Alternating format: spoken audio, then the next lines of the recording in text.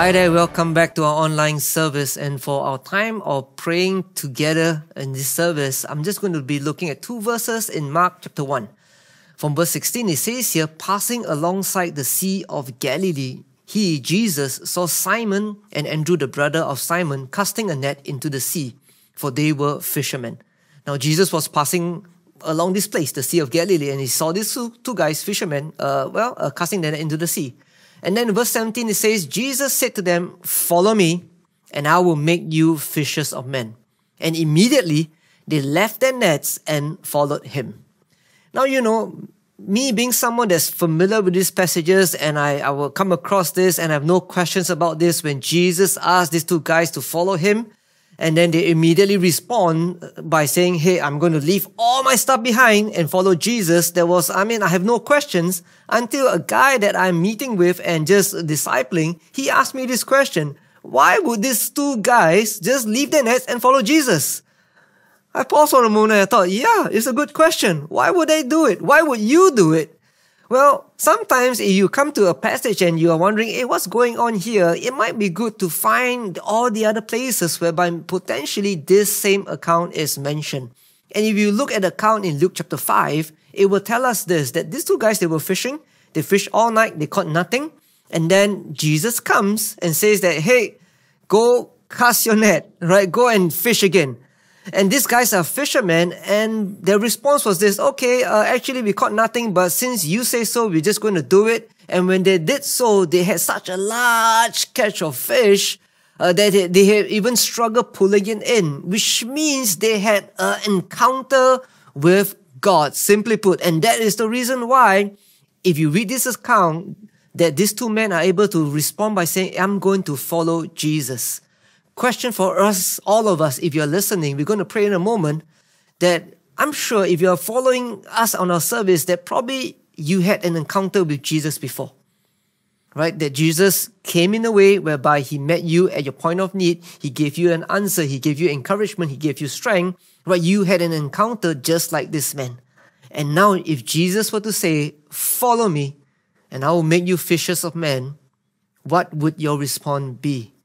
Would it be like this man who literally put everything else as secondary? They left it behind and followed Jesus wholeheartedly. As we go into our time of prayer, let this be the thought that you will reflect upon that will you follow Jesus wholeheartedly? Is there something that maybe you might be holding on to that may be holding you back from following him fully? Father, I pray even today as we begin our time together this service, that Lord, that we will all respond to your call over our lives to follow you, to follow you. And as we follow you, Simon and Andrew has a specific call that Jesus, you're going to make them fishers of men. And I believe likewise, you have a call for all of our lives, even as we follow you. And I pray that Lord give us the faith, the grace to leave the things behind that may hold us back from following you wholeheartedly. So, Lord, we just thank you for this time. We praise you in Jesus' name. Amen.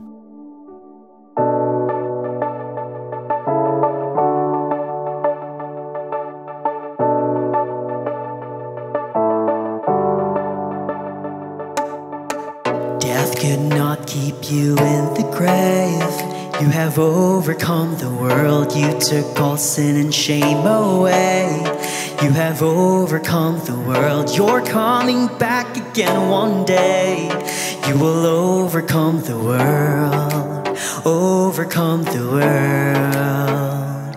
King Jesus, you're victorious. All of heaven roars. Your glorious. You are Lord of all. We shout your name. Jesus, you are God. Forever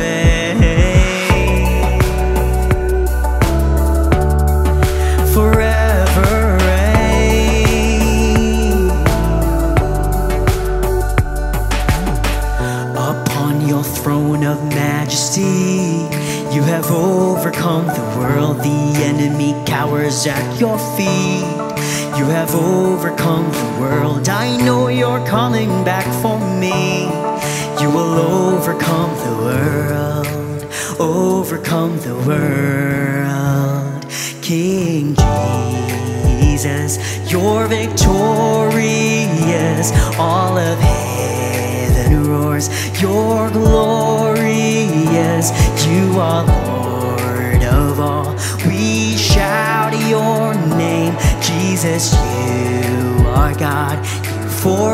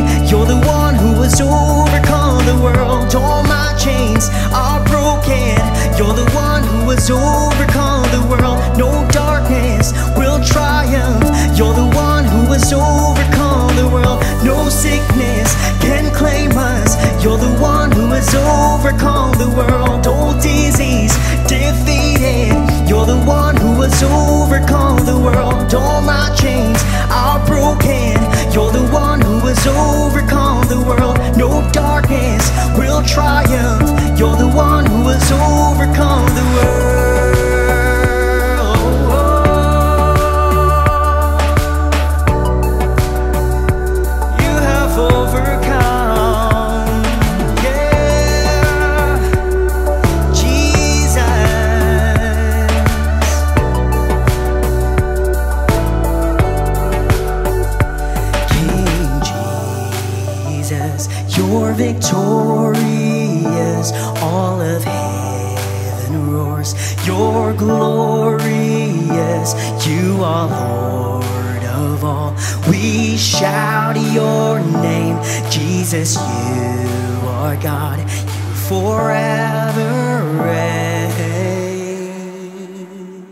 Thank you, Lord, for the privilege that you've given us to know you and also to follow you. And Lord, this is a privilege even to bring our worship to you. And Father, we just give you thanks in Jesus' name. If you'd like to just to continue to give and to worship God with your tithe and offering, you can get onto our website and you can find the details there. Well, now I'm going to hand over the time to Pastor Joey for the time of meditation upon the Word of God. Hello, everybody, and welcome to this week's edition of Meditating on the Word of God. And as you know, we are in the month of April, and this is our final piece on a four part series on the way of the cross, the journey of Jesus onto Calvary and the resurrection. As you know, April is the uh, fourth month of the year, and literally hard to imagine that uh, uh, 25% of the year is gone. And, and as we move forward, I want to do a quick review of the messages that have been delivered in this process into the garden. A look into the first place we find Jesus in his journey to the cross in the Garden of Gethsemane. Crossroads, where we find him in Calvary on the cross.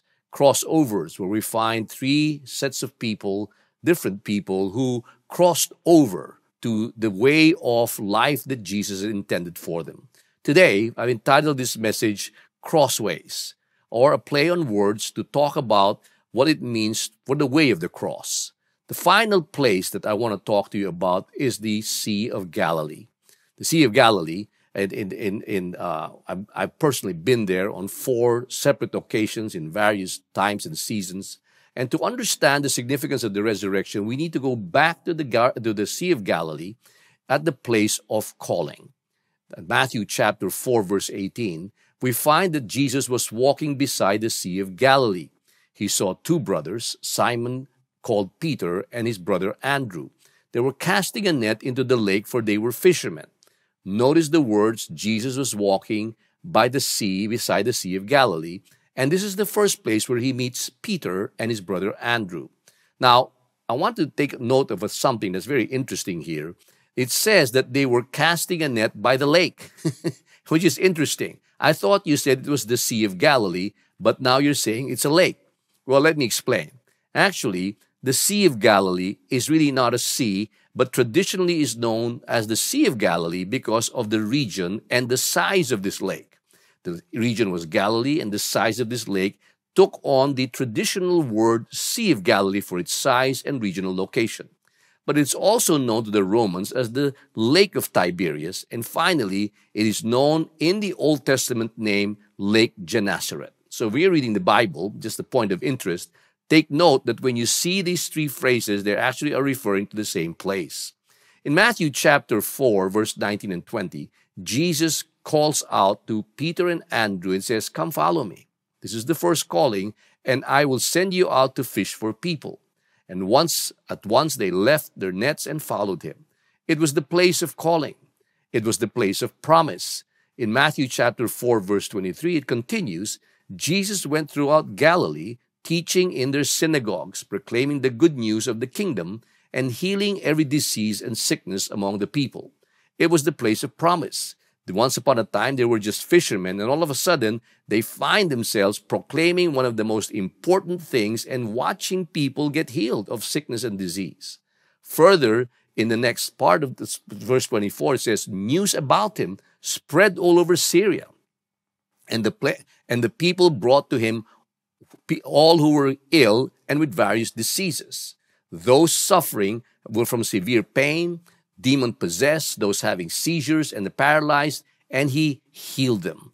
This was not just the place of calling and the place of promise, it was the place of excitement. Exciting to imagine two fishermen, now all of a sudden their entire lives are changed. They've been called by no less than God, the Messiah. They're now in a place, a promising career that was full of excitement. And further in verse 25, it says, large crowds from Galilee, the Decapolis, Jerusalem, Judea, and the region across the Jordan followed him. It didn't say crowds, it said large crowds. All of a sudden, there's this magnitude, the significance of the of what they were doing. It doesn't say it was just from Galilee, it affected the Decapolis. The word Decapolis, polis meaning cities, Deca means 10. It affected 10 cities. These were Hellenistic cities that were filled with Greeks, but because of the popularity of what they were doing, it affected not just the Decapolis, but Jerusalem, Judea, and across the Jordan followed him. It was the place of calling, the place of promise, the place of excitement, and the place of glory. Meanwhile, back in the Sea of Galilee, this time after Jesus was crucified, we see a different place as we find it in John chapter 21, verse, uh, verse 1. Afterwards, Jesus appeared again to his disciples by the Sea of Galilee. Now remember that Jesus had already appeared to them previously, but now he appears to them again, this time by the Sea of Galilee as the resurrected Christ. And it says it happened this way. We find again Simon Peter, Thomas, also known as Didymus, Nathanael from Cana in Galilee, the sons of Zebedee, and the two other disciples were together. This we find Peter once again. Now, it's interesting that while Peter was in the room where he saw Jesus resurrected, he was not quite the same because he failed like he was a failure when he failed to fulfill his promises to Jesus. The loss of excitement, the loss of significance and glory has all ebbed away. He simply was back where he started, just wanting to be just another fisherman. The same place, same job, same thing. And This is now the place of failure, the place of broken promises. When Jesus, in the Last Supper, predicted that they were going to deny him. Mark chapter 14, verse 27 says, You will all fall away, Jesus told them, for it is written, I will strike the shepherd and the sheep will be scattered. And he says, You will all fall away.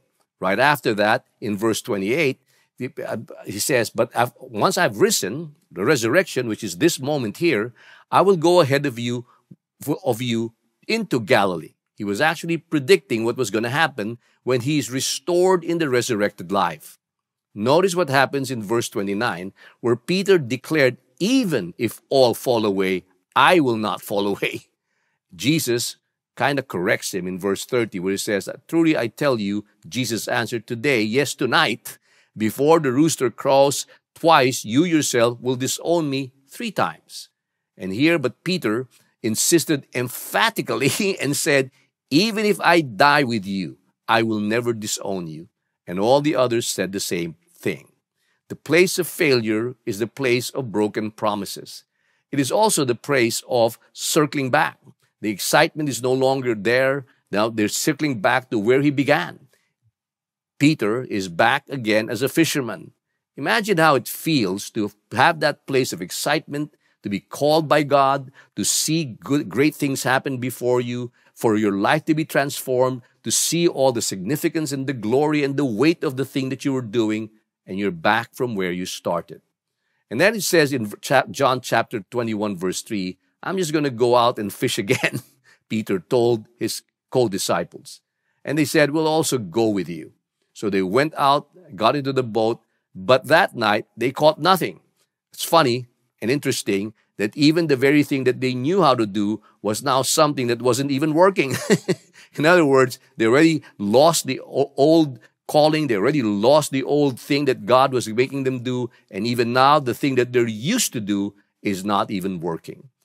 The Sea of Galilee is the place of failure, the place of broken promises, the place of circling back to zero, and the place of frustration. You might be thinking about this and you might be in that place, the place of frustration. Where is my life going? What is in store for the future? What's going to happen? What are my chances? Why am I even on this earth? This is really where the people of God were at this point. Which brings us to my third and final point, and finally, summary of this message, this four part message the place of restoration. Jesus restores our ability to succeed. Notice in John chapter 21, verses 4 and 5, it says, Early in the morning, Jesus stood on the shore but again, the disciples did not realize it was Jesus. It's probably because it was early in the morning. And that's why they did not recognize him at that point because it was still dark. He called out to them, Friends, haven't you any fish? No, they answered. It says, He said to them, Throw your net on the right side of the boat, and you will find some. When they did, they were unable to haul the net in because the because the large number of fish because of the large number of fish.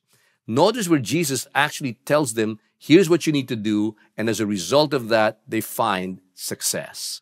Like Peter, Jesus beats us at our broken promises and failures and our frustrations and helps us get back to the place where we can find success again. Jesus is the place who restores our ability to succeed once again.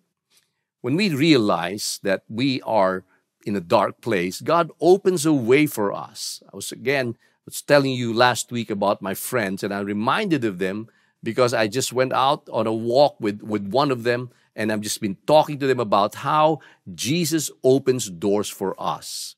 Challenges that we find in COVID, and yet be, uh, being believers, we can believe that Jesus can grant us success in the midst of that. In cha- John chapter 21, verse 7, it says, Then the disciples whom Jesus loved said to Peter, It is the Lord. The, the, the, Peter was now told that this is actually Jesus that was talking to them. As soon as Peter heard him say, It is the Lord, he wrapped his outer garment around him and jumped into the water. Once again, because of the success that they've seen, Peter realizes that it was Jesus. And once again, that spark, that hope, that, that, that ability to once again believe was resuscitated, resurrected in the life of Peter. The other disciples followed in the boat, towing the net full of fish, for they were not far from the shore, about a hundred yards. When they landed, they saw a fire burning, coals, there were fish on it, and some bread. When they had finished eating, Jesus zeroed in on Simon Peter. And he said, Simon, son of John, do you love me more than these? Jesus was restoring the relationship with Peter. Yes, Lord, he said, You know that I love you. And here we find Jesus not only restored his ability to succeed, but he was restoring his relationship with Peter. Peter, who had denied him three times, and that's why Jesus was restoring him and asking him the same question three times. Again, Jesus said, Simon, son of John, do you love me? And he answered, Yes, Lord, you know that I love you. Jesus said, Take care of my sheep. This is again the second time that Jesus asks him, he wasn't trying to insult him. he was trying to restore him. He was trying to show him that the very thing that you failed to do is the very thing I'm restoring in you and for you. And John and, and, Simon, son of John, do you love me? He answered, Yes, Lord, you do know that I love you. And Jesus says, Take care of my sheep. And finally, a third time, Jesus asks him and said to him, Simon, son of John, do you love me? At this point, Simon, or, uh, Peter rather, uh, was hurt because of Jesus asked him a third time, Do you love me? Fact of the matter is, sometimes as God restores us, it's not because He wants to hurt us. He wants us to overcome the very thing that we will fail to do for Him. He said, Lord, you know that all things, you know that I love you. The place of restoration is also the Sea of Galilee. If Jesus restores our ability to succeed. He restores our, our, our, relationship with Him. And as a result of that, Jesus then is able to restore our calling in Him. You will notice that every question was followed by feed my lambs, take care of my sheep, because God or Jesus was not just trying to restore the relationship, but restoring the very calling and destiny of Peter. John chapter 21 verse 17 says, Peter was hurt, but you see, God wanted to restore his calling in him. And so he said, feed my sheep. In verse 18 it says, Very truly I tell you, when you were younger, you dressed yourself and went where you wanted.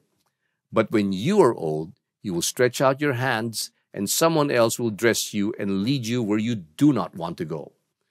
This verse is interestingly defined in the next one. Jesus said this to indicate the kind of death by which Peter would glorify God. Then he said to him, Follow me. This is really Jesus fulfilling the very destiny and allowing Peter to glorify him. Jesus restores us, not just in our ability to succeed in our life here today, he restores our relationship with him through his resurrected life and restores our calling in Him. The Garden, or the Sea of Galilee rather, is the place of calling. It was also the place of failure, but it's also God's way of telling us our place of calling and failure is also the place of our restoration. Let me summarize this message for you. The place of calling is the place of our promises, the place of our excitement, and the place of where we can glorify God. The place of failure is the place of our broken promises, the place of circling back to zero or to nothing, and finally the place of frustration. But it can also very well be the place of restoration, the resurrection power of God to resurrect our failures, our failed promises, and our ability to bring Him glory. Jesus restores our ability to succeed, Jesus restores our relationship with Him, and Jesus restores our calling into Him. Let me help, join me with a quick word of prayer as we proclaim Jesus, our Savior. Pick up a piece of bread and a cup and pray this prayer with me. Jesus, our God, Savior, and King, we worship you. We thank you for calling us into a relationship with you. When we find ourselves in a place of failure, we look to you as the one who resurrects our failures, our setbacks, and even our frustrations. In you, we find restoration in our ability to succeed in our relationship with you, and in our calling to bring you glory. In Jesus' name we pray, and everyone said, Amen.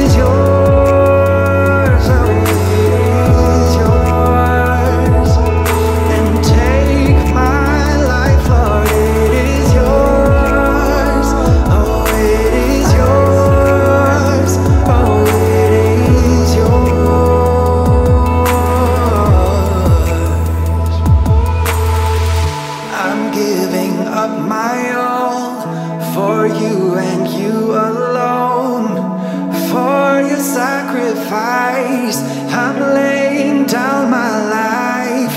I'm giving up my all for you and you alone. For your sacrifice, I'm laying down my life. The price you paid, the life you gave, the cross and the grave. My sins now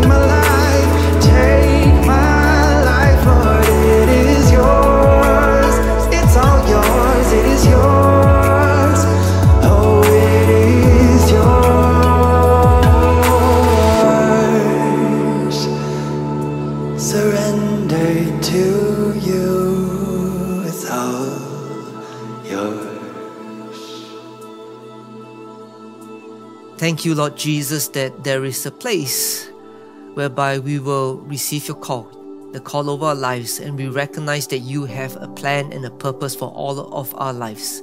And the times whereby we felt the challenges, the failure, Lord, I pray for the restoration to come, that you restore us, you restore and re- renew us, renew our faith, that we will continue to pursue the call, the purpose that you have for all of us. In Jesus' name. Well, God bless you. Hope you have a great service and have a blessed week ahead.